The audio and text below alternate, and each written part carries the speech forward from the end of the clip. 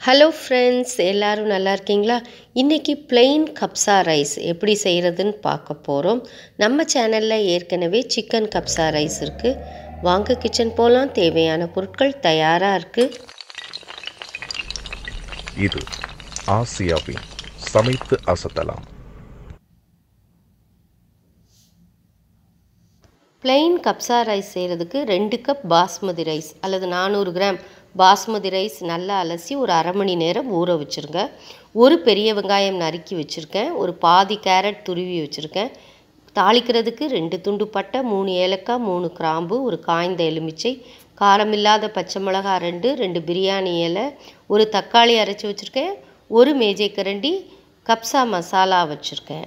இப்போ ஒரு அடிகனமான பாத்திரத்தில் ஐந்து மேஜை கரண்டி எண்ணெய் விட்டு ரெண்டு துண்டு பட்டை மூணு ஏலக்காய் மூணு கிராம்பு ஒரு பெரிய வெங்காயம் நறுக்குனது சேர்த்து வதக்கிட்டு இருக்கேன். பெரிய வெங்காயம் லேசாக செவர்ற அளவு வதக்கணும். இப்போ இது நல்லா வதங்கட்டும். நான் ஒரு மேஜை கரண்டி குவியலாக இஞ்சி பூண்டு பேஸ்ட் வச்சுருக்கேன். இஞ்சி பூண்டு பேஸ்ட் போட்டால் நல்லா மணக்கும் போட்டுக்கோங்க. அந்த இஞ்சி பூண்டு நல்லா வதங்கணும். இப்போ காரமில்லாத பச்சை மிளகா ரெண்டு ரெண்டு பிரியாணி இலை போடணும்.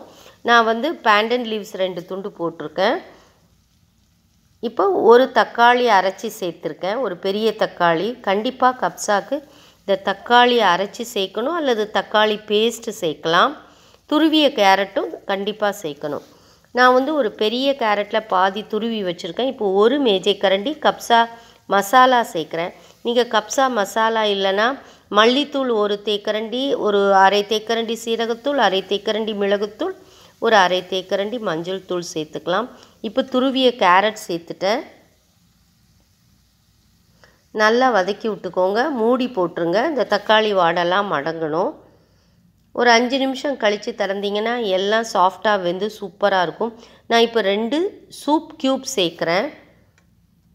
சூப் க்யூப் சேர்த்தா அந்த கப்ஸா ரொம்ப மணமாக டேஸ்ட்டாக இருக்கும்.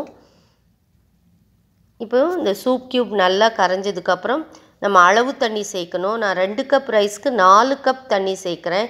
இது நல்லா காய்ந்த அரிசி. புது அரிசியாக இருந்தால் நீங்கள் ஒன்றரை கப் அளவுக்கு தண்ணி சேர்க்கலாம். ஒரு கப் ரைஸ்க்கு ஒன்றரை கப் சேர்க்கணும். நான் ரெண்டு கப்புங்கிறதுனால நான் நாலு கப் சேர்த்துருக்கேன். நீங்கள் உங்களுக்கு உதிரியாக வேணும்னா மூணு கப் தண்ணி சேர்த்துக்கலாம். இப்போ ரைஸ் நல்லா ஊறிடுச்சு தண்ணி கொதி வந்துடுச்சு சேர்த்துடலாம். இப்போ நல்லா ஒரு அஞ்சு நிமிஷம் கொதித்ததுக்கப்புறம் அடுப்பை சிம்மில் வச்சு ரைஸை புழுங்க விடணும். ரைஸ் அப்படியே மலர்ந்து மேலே வரும். அடுப்பை சிம்மில் வச்சு வெந்தால் தான் ரைஸ் சாஃப்டாக நீள நீளமாக இருக்கும். இப்போ திறந்து காட்டுறேன் பாருங்கள் இப்போ வந்து இன்னும் கொஞ்சம் நேரம் இருக்கணும். ஒரு பத்து நிமிஷம் ஆகும் எப்படியும் ரைஸ் முழுசாக வேகிறதுக்கு. இப்போ நல்லா வெந்து மலர்ந்து வந்துடுச்சு. ஆனாலும் லேசாக தண்ணி நிற்கிது இந்த நேரத்தில் நம்ம அடியில் ஒரு தோசை தவா வச்சு மேலே ஒரு வெயிட் வச்சு தம் வச்சிடணும். ஒரு பதினஞ்சு நிமிஷம் வைக்கணும். அப்போ தான் தண்ணிலாம் வற்றி ரைஸ் பொல பொலன்னு வரும். இதுக்கிடையில் நான் அன்றைக்கி வந்து வாவல் மீன் வந்து மசாலா தடவி வச்சுருந்தேன். அதை பொரித்து எடுத்துடலாம்.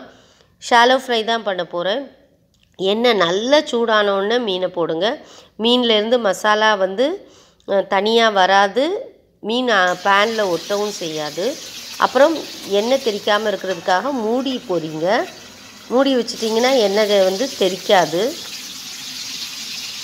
குயிக்காகவும் வேகும். இப்போ மீன் பொரிஞ்சதுக்கப்புறம் நம்ம பரட்டி போட்டுடலாம். அங்கே வந்து ஒரு பத்து பதினஞ்சு நிமிஷம் நம்ம தம் வச்சோம். அடுப்பை நான் அணைச்சிட்டேன். இப்போ திறந்து காட்டுறேன் பாருங்கள் எப்படி பொல பொலன்னு சாஃப்டாக ரைஸ் நீளமாக இருக்குது கேரட்லாம் அங்கங்கே இருக்கிறதுனால கலர்ஃபுல்லாக இருக்கும் இந்த கப்ஸா நம்ம சேனலில் ஏற்கனவே சிக்கன் கப்ஸா ரைஸ் இருக்குது அதில் எல்லா டீட்டெயிலும் கொடுத்துருக்கேன். நீங்கள் அதே மாதிரி ஃபாலோ பண்ணிங்கன்னா ப்ளெயின் கப்ஸா செய்யலாம். இப்போ மீன் பொரிஞ்சிடுச்சு எடுத்து வச்சிடலாம். நான் வந்து அந்த சிக்கன் கப்ஸா லிங்க் டிஸ்கிரிப்ஷனில் கொடுக்குறேன். அது நம்ம சேனலோட ஹிட் ரெசிபி இப்போ இன்றைக்கி வந்து நான் அந்த பிளெயின் கப்ஸாக்கு வாவல் மீன் ஃப்ரை வச்சு பரிமாற போகிறேன் கட்டிப்பருப்பு ரைத்தாவும் வச்சுருந்தேன். சூப்பராக இருக்கும் இந்த காம்பினேஷன். இதே மாதிரி நீங்கள் செய்து பாருங்கள் இதுவரை என் சேனலை சப்ஸ்கிரைப் பண்ணலன்னா சப்ஸ்கிரைப் பண்ணுங்கள் அப்படியே பக்கத்தில் இருக்கிற பெல்லைக்கானை கிளிக் பண்ணிங்கன்னா நான் வீடியோ போட்டோன்னே உங்களுக்கு நோட்டிஃபிகேஷன் வரும். இந்த பகிர்வு பிடிச்சா like share comment and subscribe friends thanks for வாட்சிங் மிக்க நன்றி.